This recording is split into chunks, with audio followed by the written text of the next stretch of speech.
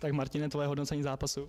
Tak eh, zápas byl ze začátku velmi vyrovnaný a hráli jsme jako, co se dalo dobře, jenom zase rozhodčí jako vždycky nás zařízli a co bych víc dodal k tomu.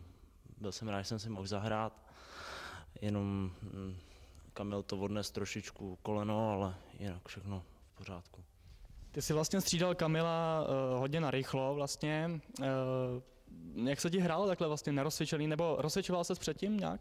Jo, od trenéra jsme dostali pokyny, že se máme rozcvičit už v půli a že asi do zápasu se dostaneme, ale byl to opravdu rychlej start. Uh, ty jsi proti jednám zažil vlastně svoji premiéru divizní. Uh, říkal jsi před zápasem, že by si mohl nastoupit, nebo jak je, jaký by to bylo nastoupit proti Markovi Kinslovi, Miroslavovi Obermajerovi nebo Davidu Zobkovi? Tak z začátku jsem si nedával moc velký šance, že bych do zápasu se podíval a zahrál si proti takovým slavným jménům, ale zahrál jsem si to, užil jsem si to a rád bych si to někdy zopakoval. Tak Šimone, tvoje hodnocení zápasu?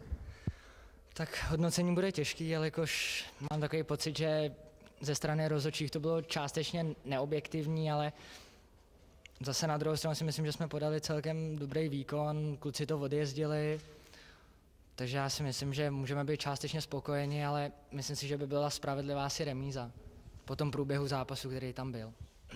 Ty jsi zažil vlastně premiéru v Ačku, v divizi, v Neratovicích, v minulém zápase.